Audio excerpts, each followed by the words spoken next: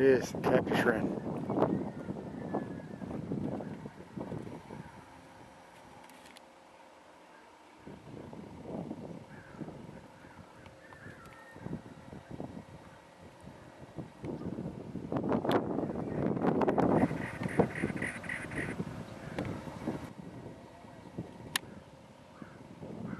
Too shaky.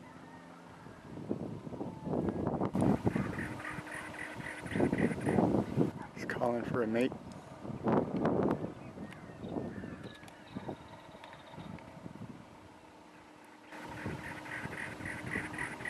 Forgot my tripod, so I'm real shaky.